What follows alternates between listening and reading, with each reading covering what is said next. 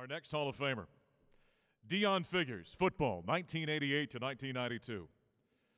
Deon was a consensus first team All American as a senior in 1992 when he was the All Big Eight and Conference's Defensive Player of the Year. He won the Jim Thorpe Award that season, presented to the nation's top defensive back. Now, get this number right here. He allowed only six pass completions the entire season against him. He also had six interceptions that season. So he had as many picks as he allowed receptions to the opposing receivers. He deflected 12 balls that year. He was the uh, Colorado Sports Hall of Fame co college athlete of the year in the state in 1992. He was second team All Big Eight as a junior in 1991 and an honorable mention choice as a true freshman in 1988 when he was the league's defensive newcomer of the year. He was a first round draft choice of the Pittsburgh Steelers in 1993 NFL Draft, 23rd overall, and played six years in the National Football League. The latest inductee of the CU Athletic Hall of Fame. Put your hands together for Deon Figures.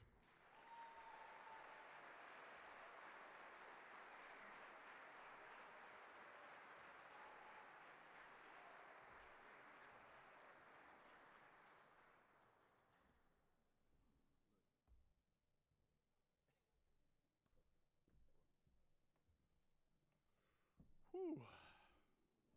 Just want to take this in. Enjoy the moment.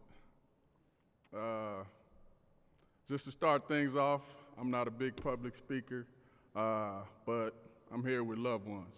Uh, this is family. So I'm just going to speak from my heart. A lot of guys out here I play with, I see them, they laughing and giggling and trying to make me nervous. Well, I'm nervous. But uh, I want to thank everybody for coming out. Um, I'm glad to be here. Uh, I want to thank all the inductees. It's an honor and it's a pleasure to be inducted in the same class with each and every one of you guys. Um, first and foremost, I want to thank my parents who's not here. My father died, well, my mother died in 95, my father died in 98. Um, that's the reason why I'm here. Uh, I kind of strayed away growing up. Uh, my high school coach told me, you have a chance to go to college, you know, get a degree, you know, forget about football. But you can do both football and get a degree. So I started to believe him. And uh, I started concentrating on going to college. You know, I'm from Compton, California. My ex roommate, Darian Hagan, is from Watts, and he just texted me two days ago. I can't tell you exactly what he said. but he said, Can you believe it? You know, two young bleep bleep from the streets of LA, you know, here in Colorado in the Hall of Fame. And uh, that kind of, something kind of clicked in me. And uh, I just want to mainly just I want to thank people, but I don't want to say names because I'm going to leave somebody out.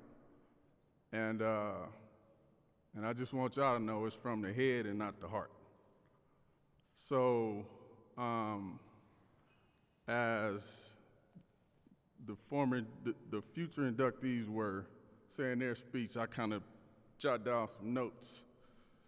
And uh, I already thanked the inductees and my parents, and I want to thank the University of Colorado for even coming to Compton to even look at a young kid like me, 18, 17, 18 years old, to even give me the opportunity.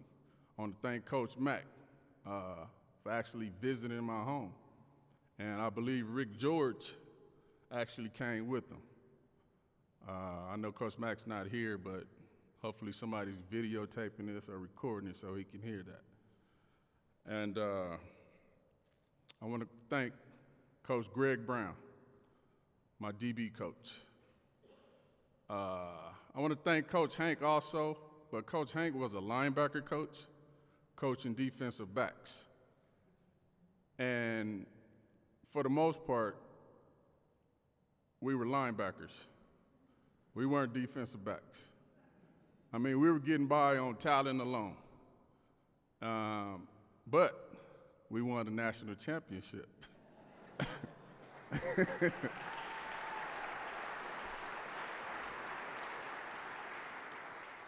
so I want to thank Coach Brown for coming in. Uh, I worked under him for two years, and my play on the field just shot through the roof. I mean, we did things that defensive backs are supposed to do, and it's repetitious. The same thing over and over and over again. And we weren't used to this, but we started getting it because some of the things that we were doing in our drills kind of transferred over to the things that we were doing in the game. So it kind of made believers out of us. And I want to thank that man with all my heart. all my heart. He did a lot for me. I want to thank all my teammates every year that I played, especially the ones that's here now. Like I said, I don't want to name names, but Darian Hagan, Keith Poundaflet, James Thrill Hill, Dwayne Davis, uh,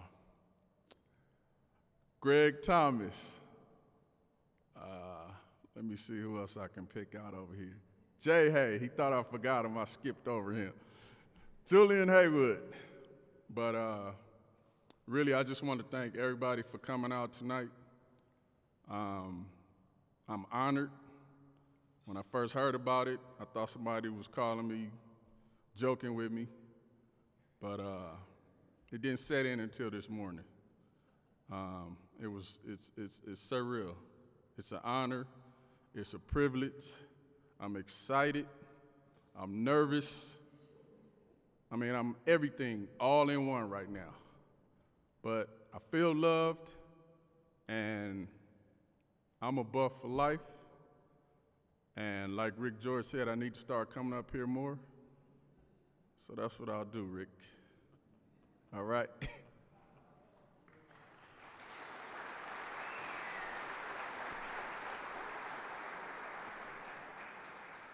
And last but not least, I want to thank my family, my wife, my three kids. I love y'all dearly. Post football, I wouldn't have made it without y'all. So, Daddy love y'all. Thank everybody for coming out. Go Buffs. God bless everybody.